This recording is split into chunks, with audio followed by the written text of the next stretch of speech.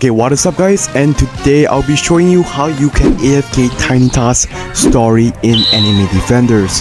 So there is three new maps and you have a fixed spawn point, so it's gonna be so easy.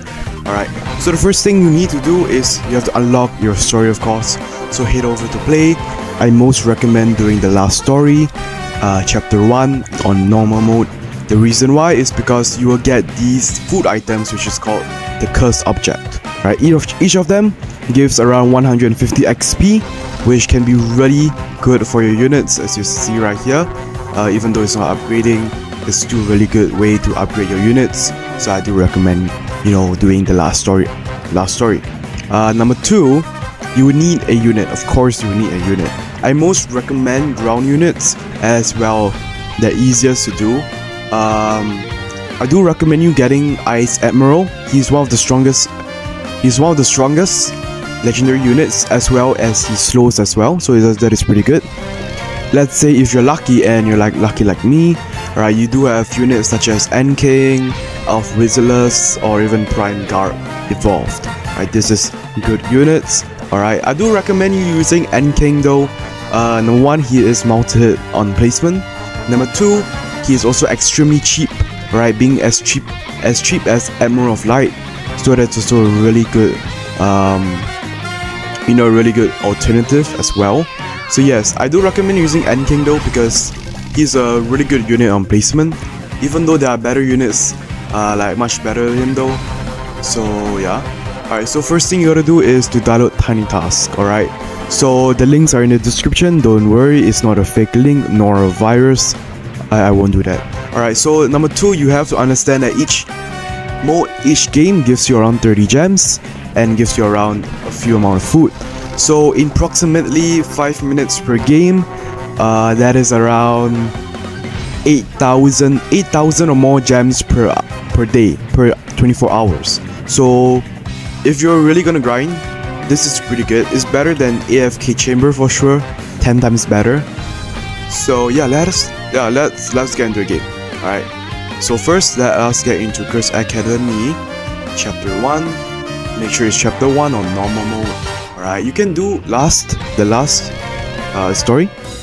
You can do the last chapter but that doesn't matter. Alright first thing you gotta do is make sure that you have your unit with you alright?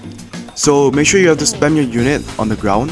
So you have to place your unit below you or only below you alright? So you have to know where is your replay button as well so your replay button is right around here alright so what I'm gonna do now is I'm gonna spam any side of my screen. Alright, now I'm to press my unit, placing him below me. Alright, spamming, I'm spamming him. Now I'm clicking anywhere else, I'm going back and I'm upgrading him. Alright, now after that, I'm spamming the replay button, which is right around where I'm spamming right now. Alright, and you're done. This recording took me around a good 20 seconds. Now if you put around 99 speed, which I'm gonna do right now, it's gonna be around 15 or 16 seconds or so. So this recording is super good. Let's say maybe you're going to work and you're not doing anything or you're going to school. This is pretty good. It won't fail. One thing I really love about this game is that aside from Anime Last Stand, you won't go back to lobby when the game ends. So that is pretty good. Uh, don't worry, your units won't even leak. And even if they leak, they won't even die anyway. So that doesn't really matter, right? Uh, don't worry about that. My Ant King got it. Alright, as we see. Alright, don't get me wrong, you can place more than two units. Right, you could place one Beerus right here and another Beerus right here. And you can upgrade both of them as well. Right, if you need more DPS. Of course, that is only if you need more DPS, of course. So yeah. So now I'm going to leave it running and I'm going to show you that it actually works and I'm not lying. So yeah, I'm to leave it running and I'll see you in a bit.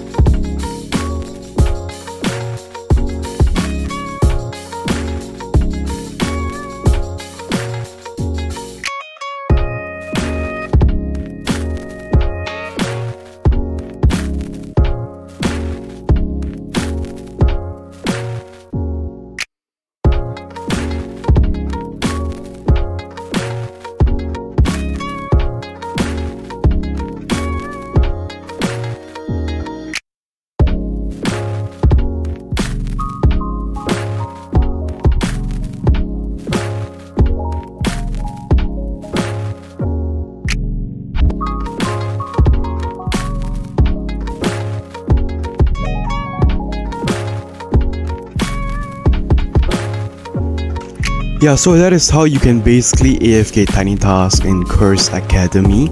Uh, basically you can actually do this with any other map. It's the same concept actually.